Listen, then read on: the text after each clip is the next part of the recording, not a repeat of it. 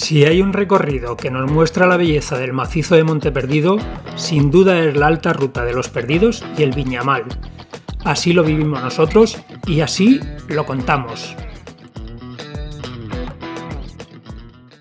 Iniciamos nuestro recorrido en San Nicolás de Bujaruelo, cruzando por el puente románico, el río Ara e internándonos valle arriba por un bonito bosque de boj y de hayas.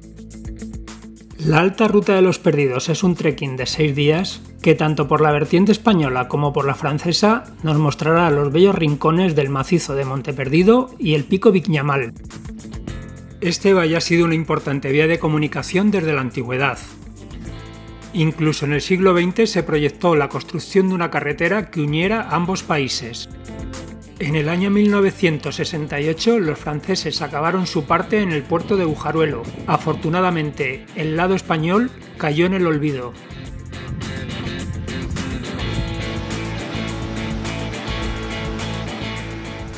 Del puerto de Bujaruelo al refugio de Serradet se gana altura rápidamente.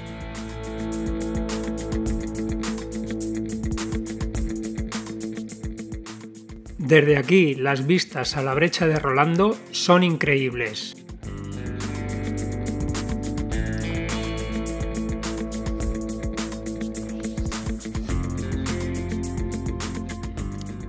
Cuando nosotros llegamos la niebla cubre parcialmente la brecha. Este es un lugar mítico y esto le da un aspecto todavía más enigmático. Los geólogos nos dirán que esta impresionante muralla de más de 100 metros de altura se ha caído a causa de la erosión. Pero a nosotros nos gusta más la leyenda de que fue provocada por Durandal la indestructible espada del caballero Rolando.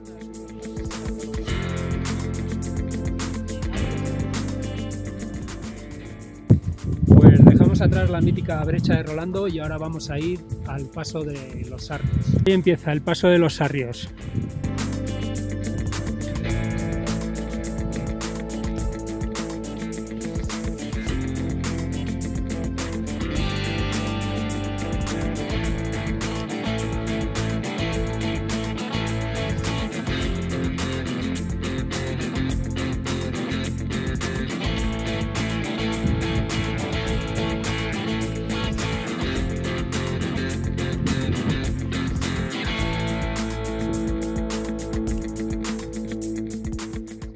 Monte Perdido es el macizo calcáreo más alto de Europa y esto hace que su flora también sea excepcional. Entre todas ellas destaca la del Weiss, la flor de montaña por excelencia y que es el emblema del Parque Nacional de Ordesa y Monte Perdido.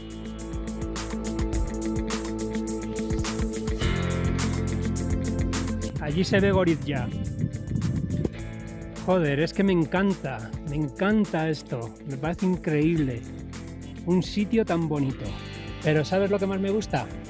¿Qué? Estar aquí contigo.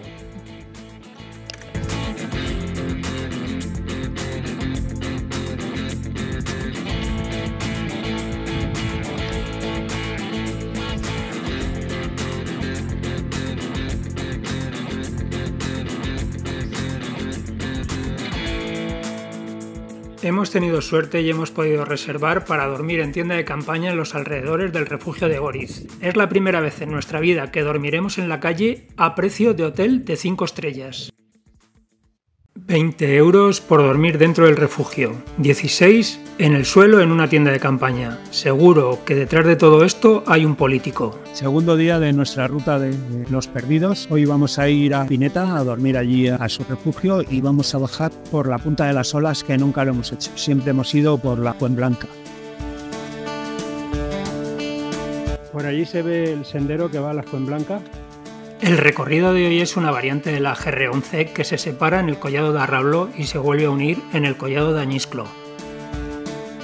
Desde esta atalaya las vistas del cañón de Anisclo son impresionantes. El cañón de Anisclo.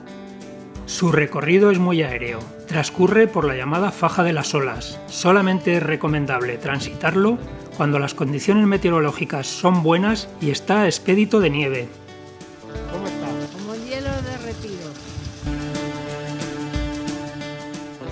Presenta varios pasos con cadenas y con sirgas de acero muy recomendables cuando el terreno se encuentra peligroso.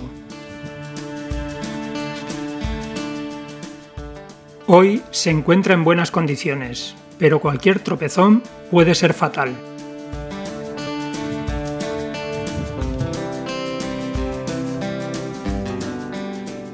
Impresiona ver por dónde hemos bajado.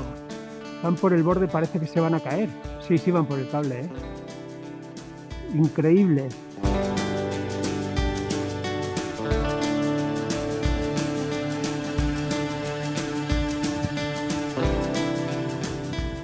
Por fin llegamos al collado de Añisclo y a su temida bajada o subida al valle de Pineta.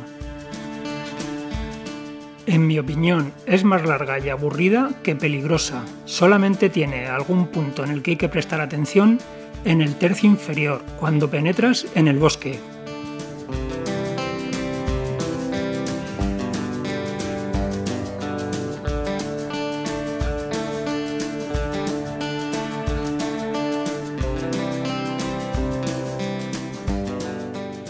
La recompensa es que podemos ir a la sombra de este magnífico hayedo. Ya nos queda más cerca el refugio y sus cervezas.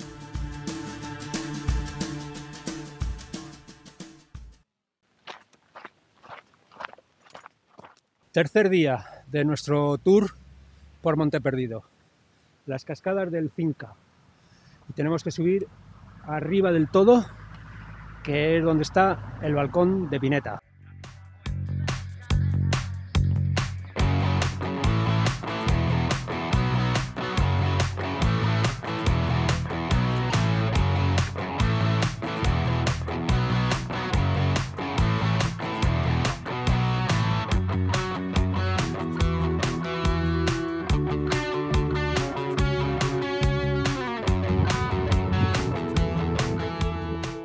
Después de más de 1200 metros y más de 4 horas de subida por un camino perfectamente trazado, llegamos a este mirador natural donde las vistas del Valle de Pineta y la cara norte de Monte Perdido son extraordinarias. La vida y la vegetación vencen en estas alturas a la aridez del terreno. Hace tres años decía que este era el restaurante con las vistas más bonitas del mundo. Se puede estar comiendo en un sitio más bonito. Creo que no. Tres años después sigo diciendo lo mismo, pero acompañado todavía mejor. Mira, allí. Esa es la canal de Tucarroya y arriba en la mitad no es que como hay así una construcción, un refugio. Hay gente.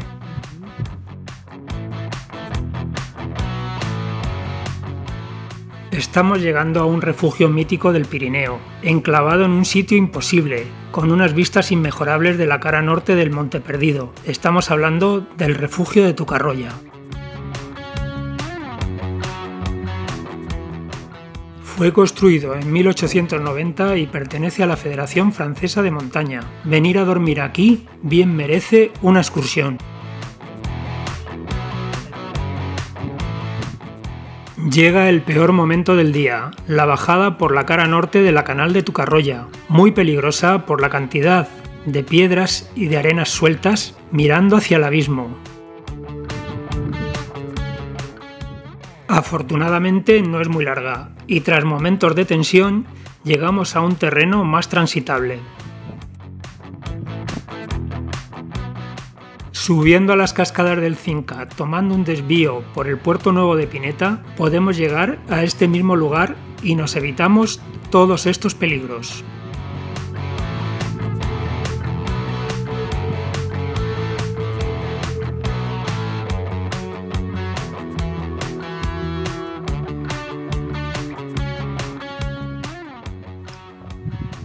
Mira Belén, allí la brecha de Roland. Qué pedazo de vistas, colega.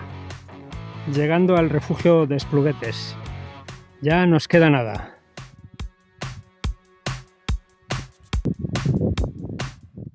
Bueno, pues ya hemos acabado la tercera etapa de hoy en el refugio de Espluguetes y se puede ver atrás hay una vista impresionante. El refugio de Espluguete es de los pocos que siguen usando burros para portear. De hecho, estos son el emblema de este refugio. Hoy el recorrido es muy sencillo y casi todo en bajada. Lo haremos acompañado de Paco, un montañero madrileño que está haciendo el mismo recorrido que nosotros. Pasaremos por el circo de Gavarnie y veremos su famosa cascada. Pasamos por sectores de escalada con techos y vías de gran dificultad.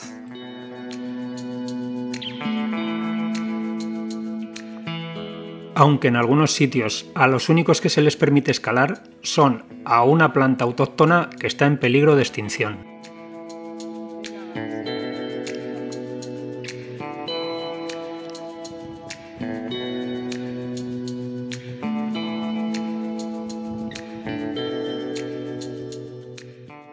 Es difícil no emocionarse cuando tienes ante tus ojos una cascada de más de 400 metros de altura.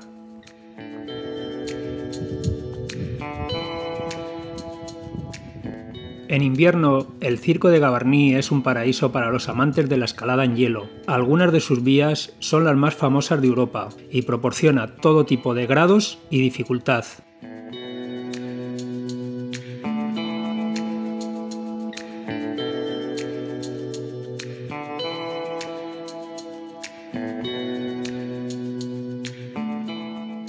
Afortunadamente hemos llegado a buena hora y podemos disfrutar en soledad de este espectáculo de la naturaleza.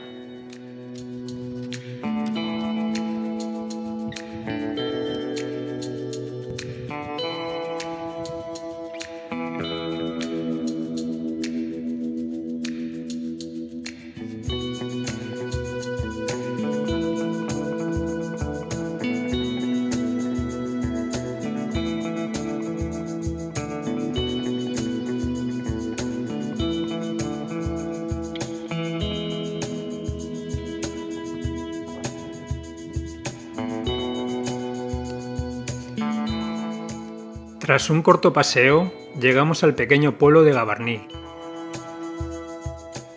donde disfrutamos de los placeres de la civilización. Acabamos el día en el chalet de la Federación Francesa de Montaña, la Granja de Holanda. Esa carretera de ahí va de Gavarní al puerto de Bujaruel. Por eso hay tantas personas francesas en la brecha de Roland. En la etapa de hoy recorreremos el inmenso valle de Ushuaia, plagado de cabañas donde los montañeros pueden hacer vivac.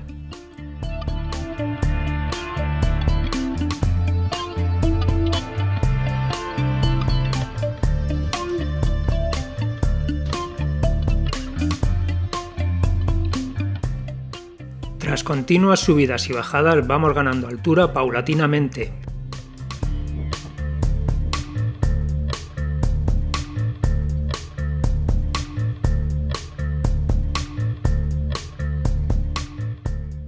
A partir del baraje de Ushuaia ya no habrá descanso. Salvaremos la totalidad del desnivel del día de un solo tirón.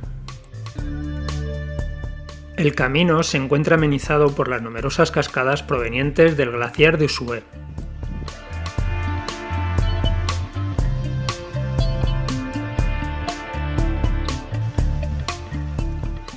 Este camino está muy transitado por montañeros que quieren subir al Viñamal. Esta es la vertiente más fácil de llegar a su cumbre.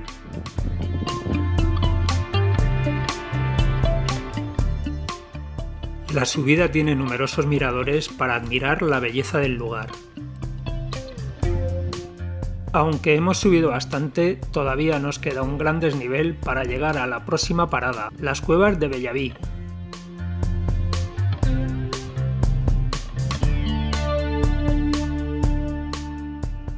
Estas cuevas fueron mandadas construir por Henri Roussel, un enamorado del Pirineo y en especial del macizo del Viñamal. Mandó construir siete y se alojaba en ellas según el estado del glaciar.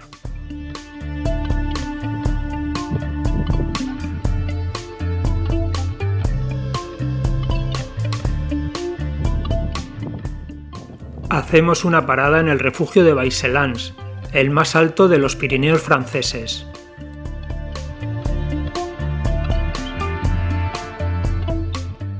Desde la Orquette du se puede subir al Petit Viñamal, uno de los pocos 3000 fáciles del Pirineo. Por allí la subida al puerto de los mulos, por donde vamos a ir mañana, el refugio de Olet de Gaube, el lago de Gaube y al fondo Pont de Spain.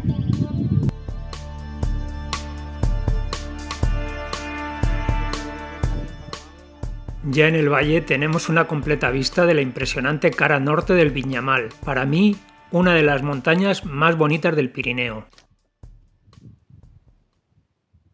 Recogemos el material y nos ponemos en marcha. Hoy es nuestro último día. Nada más salir, tenemos la única subida del día, 500 metros hasta el puerto de los Mulos.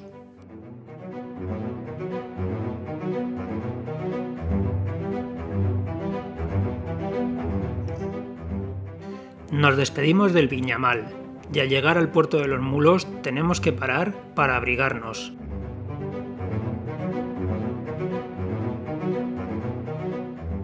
Pasamos rápidamente a la vertiente española y tras una larga bajada llegamos al río Ara. El río va aumentando rápidamente de caudal gracias a los aportes de los arroyos de los valles colindantes.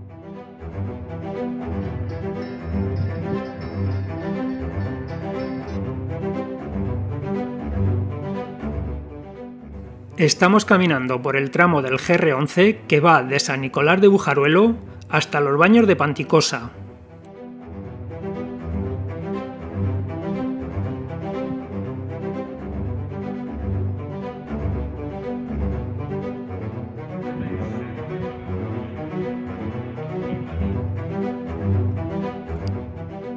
Este tramo tiene un gran valor sentimental para mí y me trae muy bellos recuerdos de cuando hace más de 30 años hicimos nuestra Traspirenaica. En esta cabaña dormimos y celebramos el cumpleaños de mi mujer hace ya muchos años. Y afortunadamente, tanto la cabaña como nosotros seguimos en pie.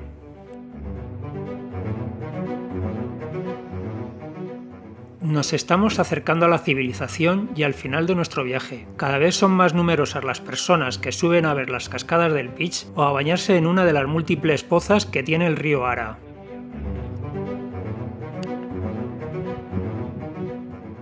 Con una merecida comida en el refugio de Bujaruelo ponemos punto y final a una de las travesías más bonitas que se pueden hacer en el Pirineo.